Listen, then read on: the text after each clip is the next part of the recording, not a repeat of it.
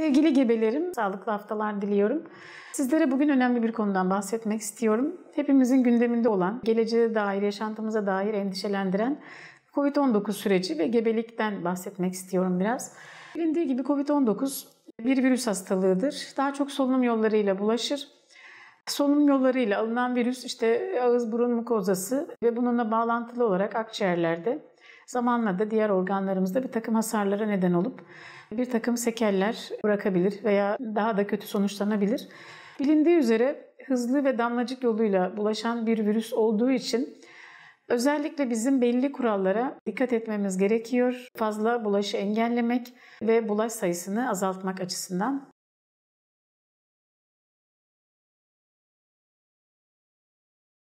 Daha çok birçok virüs hastalığında olduğu gibi ateş, öksürük, kas ağrısı, boğaz ağrısı, halsizlik şeklinde bulguları olabilir daha çok.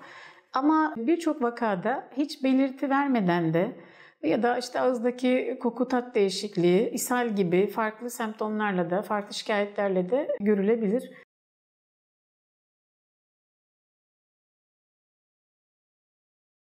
Bulgular olduğunda ya da herhangi bir şekilde şüphelenildiğinde daha çok PCR testi dediğimiz burun boğaz yolundan alınan sürüntüyle daha çok tanı konulmaktadır. Ama bunun yanında son yıllarda, son zamanlarda daha çok revaçta olan daha hızlı e, test dediğimiz kanda antikor düzeyi bakılarak da tanı konulabilir ama bunun güvenilirliği PCR testinden daha düşüktür. PCR'ı daha çok tercih etmekteyiz.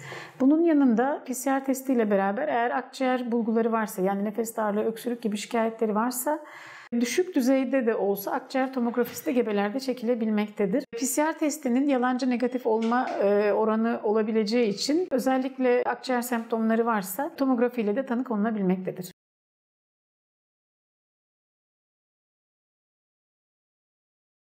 En çok sorulan belki en çok endişelenilen konulardan birisi Gebelik süreci bir risk faktörü müdür? Gebelerde COVID nasıl seyreder veya gebe kaldığımızda işte bebeğe geçiş olur mu? Bebeğimiz nasıl etkilenir? Tabii ki bu yeni bir hastalık süreci olduğu için bu konuda hala çalışmalar devam etmekte.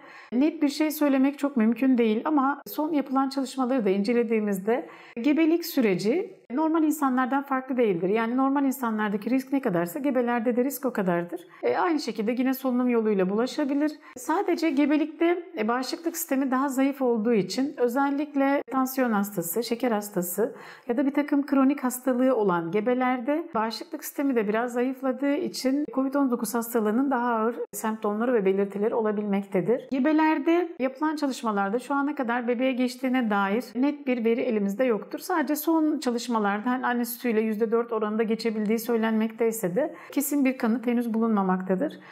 Gebeliğin erken döneminde COVID geçirilirse düşük riski olabilir denilmektedir ama dediğim gibi çalışmalar daha henüz devam etmekte. Net bir şekilde hani COVID geçiren gebelerde düşük olur diye bir tanı henüz mevcut değildir. İlerleyen gebelik haftalarında sadece erken doğuma neden olabileceği söylenmektedir ama erken doğumun birçok nedeni olabilir COVID dışında. Dolayısıyla hani şunu diyebiliriz. Özellikle annede ciddi bir semptom, şikayet ve belirti yoksa COVID-19 geçiren gebelerin, bebeklerinde herhangi bir bulaş ya da gebelikle ilgili herhangi bir risk şu ana kadar tespit edilememiştir. Ama dediğim gibi yeni bir süreç, e, yeni bir virüs ve bu konuda çalışmalar hala devam etmektedir. Şu anki mevcut bilgilerimize göre bunları belirtebilirim.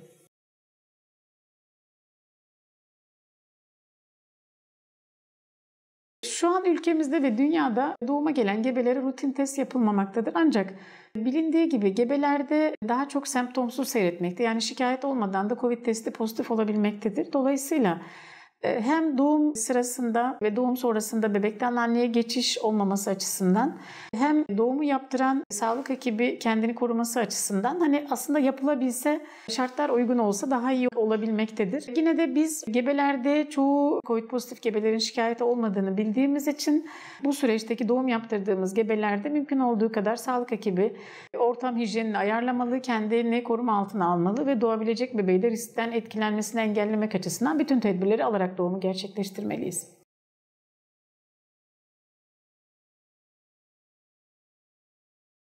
Covid-19 tanısı konulduktan sonra biliyorsunuz birçok gebe asemptomatik yani şikayetsiz bu durumu geçirebilmektedir. Burada Herhangi bir şikayeti yoksa genelde risk faktörü yoksa ev ortamını tercih etmekteyiz. Bol istirahat, bol sıvı tüketilmeli ve bol bol uyku düzeni, beslenme ve vitamin desteği alınmalıdır. Eğer semptom varsa yani ateş, öksürük gibi bir takım belirtiler varsa daha çok e, bu sürecin hastanede geçmesinden yanayız. Çünkü gebelik sürecinde bilindiği gibi şikayetler olduğunda anne ve bebek yakın monitörize edilmeli.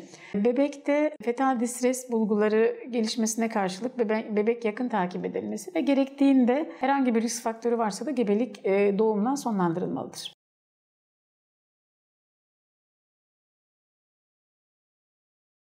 Covid-19 tanısı konulduktan sonra tabii ki anne ve bebek dediğim gibi yakın e, takip edilmeli. Özellikle doğuma yakınsa bu süreci daha çok hastanede geçirmelerini tercih ediyoruz. Eğer herhangi bir risk faktörü yoksa yani planlı bir doğum, planlı bir sezaryen yapılacaksa mümkünse hem bebeğe bulaşı engellemek hem de e, sağlık personelini korumak adına doğum ertelenebiliyorsa yani e, Covid süreci negatifleşince, bulaşıcılık bitince doğum planlaması yapılmalı. Acil şartlar e, ve bebekle ilgili herhangi bir risk faktörü yoksa eğer vajinal doğum olacaksa yani doğum süreci başladı ve gebe pozitifse bilindiği gibi e, gebeler uygun şartlarda her hastanede doğum yapabilmekte COVID pozitif olsalar dahi. Sadece bunlar için izole ayrı alanlar, hani ayrı doğumhane ortamı, ayrı bir ameliyathane ortamı zaten planlanmakta. Buralarda doğum gerçekleştirilmektedir. E, normal vajinal doğum COVID pozitif hastalarda yapılabilmektedir. Sadece söylenen eğer travay uzun sürecekse yani doğum süreci çok uzun sürecekse bebeği ve anneyi strese sok- sokmama riskine karşılık e, doğum sezaryenle tercih edilmeli ama herhangi bir risk faktörü yoksa normal vajinal doğumda e, yine COVID pozitif gebelerde yapılabilmektedir.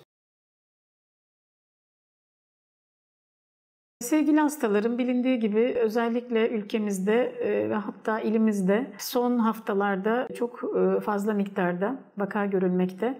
Hepimiz tedirginiz ve hepimiz risk altındayız. Burada yapılması gerekenler Tabii ki belli bir süreç bunu yaşamak durumundayız. Belki bağışıklığımız kazanana kadar, belki e, aşılanana kadar, belki birçoğumuz hastalığı geçirene kadar ama burada nelere dikkat etmeliyiz?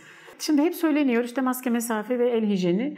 E, maske tabii ki çok önemli. Yani e, ne olursa olsun bizi e, bu gözle görülemeyecek mikroptan koruyacak olan en önemli şey maskedir. Mümkün olduğu kadar her ortamda maske kullanmalıyız. Mesafe önemlidir. Yani bize getirilen kurallara sonuna kadar riayet etmeliyiz. E, ben aksine hani özellikle gebelerime hep hele de son aya yaklaştığında belli aralıklarla işte düzenli yürüyüş, temiz hava almak adına bir takım egzersizler öneriyorum. Ha bunları yine fırsat bulduğunuzda ya da e, yapabilme imkanınız varsa bir 5 dakika bile olsa temiz hava alma adına tabii ki kalabalık olan yerler değil. E, sadece kapınızın önüne bile çıkarak e, bu hava sirkülasyonunu kendiniz ve bebeğiniz için sağlayabilirsiniz. Ama bunda maskeli muhakkak yapmalısınız. Asansöre binerken merdivenlerde, apartmanda her yerde maske kullanmak durumundayız. El hijyenini zaten hepimiz biliyoruz. Hani bu bizim Türk toplumunda yaygın olan bir süreç. E, temizlik kurallarına muhakkak riayet etmeliyiz. Bir de tabii ki yalnız kalıyoruz, belki sıkılıyoruz. Bir arkadaşımızla, bir dostumuzla hatta ailemizle görüşmek istiyoruz. Zor zamanlar. Yani hepimizin sevdikleri var. Hepimiz sevdiklerini kucaklaşmak istiyoruz. Sevdiklerimizle güzel anılar paylaşmak istiyoruz ama şu süreç hepimizin kendini dinleme süreci. Aslında kendiyle baş başa kalma süreci belki. Hiç hayatta böyle yaşamadık. Yani hep yoğun yaşadık. Hep arkadaşlarımızla, hep ailemizle geçirdik. Yine arkadaşlarımızla, ailemizle geçireceğimiz zamanlar elbette olacaktır ama bu süreçte de en azından bunu kendiniz adına fırsata çevirip Kendiniz de zaman ayırabilirsiniz. Bebeğinizle daha çok ilgilenebilirsiniz. Onunla konuşabilirsiniz. Ona güzel hediyeler yapabilirsiniz doğum sürecini yaşayana kadar. Mümkün olduğu kadar kurallara uyarak hani bu süreçte kendinizle baş başa kalarak bu hastalığı belli bir seviyenin altına indirene kadar belli kurallara uyarak hepimizde güzel, sağlıklı günler diliyorum.